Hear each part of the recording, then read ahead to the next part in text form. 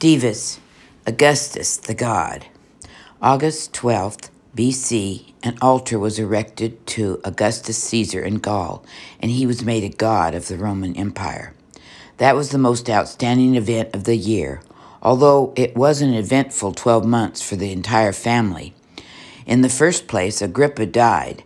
Julia was again a widow, and now she had four children, and a fifth was soon to be born. Gaius and Lucius, the two small boys, who were now about six and eight, had been adopted by their grandfather as his heirs.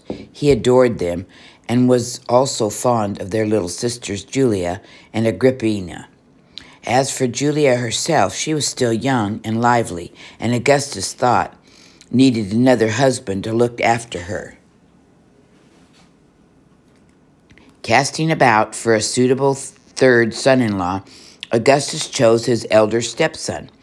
This was a blow to Tiberius. He had never cared for Julia. He was already married, truly in love with his wife, and most reluctant to divorce her. But he was obliged to comply with the request of Augustus. Tiberius and Julia were wed. The marriage was to go fairly well for a short time, but Tiberius was too sober and silent for the lively Julia. While he was away in one of the provinces, she found wild companions and more exciting lovers and became to seek pleasure in ways that were eventually to lead to her tragic end. Drusus, Livia's second son, the younger brother of Tiberius, was now married to Antonia, the gentle daughter of Octavia and Antony. Ruddy and full of enthusiasm as ever, he came back for his brother's wedding from the border of Germany. His boyhood dream of crossing the Rhine into German territory had now been realized. Each year for the past three years, Drusus had led an expedition into the deep German forests. He had also been in charge of building fornications along the Rhine as a protection against the German tribes who had again invaded Gaul and crucified Roman citizens. Pushing through the morasses and marshes in the north, he had dug a channel from the Rhine through the Zuider Zain into the North Sea. Now, this year of 12 BC, Drusus was made governor of Gaul, and he and Antonio, Antonia went to live in Lyons, which was the Roman capital. It was an old town of the Gauls and a great meeting place of the tribes. There, every spring, the Druid priests had held court, judging and settling all the disputes that had arisen among the people, divining the will of the gods and offering sacrifices. The power of the Druids had now been broken, their rule replaced by Roman law, and those Gauls who had become Roman citizens forbidden to take part in the old sacrifices. As a substitute, the Gauls were now given a new god to worship Augustus, the emperor of Rome, Augustus Divus. Divus is the Latin word meaning godlike or divine. The first altar to him was built by Drusus at Lyons. On the first day of August 12 BC, it was solemnly unveiled. Delegates from 60 of the old Gaelic tribes were present for the ceremony.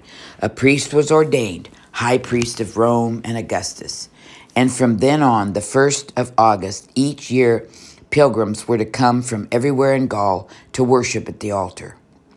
Similar altars were also erected in many other towns of Gaul.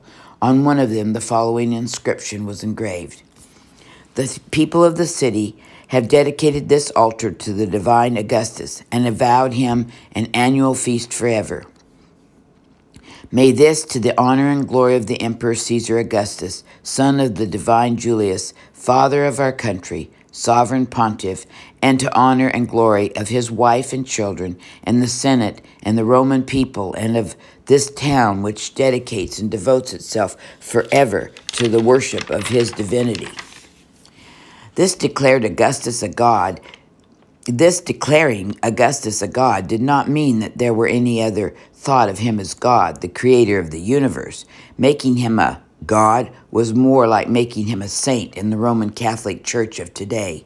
He was a patron saint of the Roman emperor, Empire. The change grew more or less reasonably out of the old Roman religion. When the death of the former high priest left that office vacant, Augustus had become Pontifex Maximus, there had always been a law that the Pontifex Maximus must live in a public residence. But Augustus did not care to move into one provided for the other high priest, so he presented part of his palace to the state that it might be considered a public residence. His hearth fire was then looked upon as a public hearth fire, as sacred and important as the one in the temple of Vesta. His Lars and Pinnacles also became those of the state, and as it in every Roman household the genius or guiding spirit of the family father had been worshipped, it did not seem strange for the genius of Augustus to be worshipped as the guiding spirit of the empire. Although Augustus allowed no altars to be built to him in the city of Rome, altars for his worship were built in all the army camps and also in all the provinces of the east, where it was long established custom to bow down before kings and rulers as being gods on the earth. In all of this world, one people only refused to worship at his altars. They were the Jews. They would pray for him if they must, but they would not pray to, to him. Proud and intense in their obedience to the law of Moses, they worshiped but one God, Javan, God of our nation, and they would have no other gods before him. Elsewhere, everywhere else in the great city of the empire, temples and shrines were erected to his worship. Natives of every subject law, from the Euphrates River to the Rhine, added him to their other gods and offered prayers to him, and in this one act as the empire was united. Thus it was that August Augustus, supreme magistrate of the Roman Empire and its first Roman, also became its god, Augustus Divus.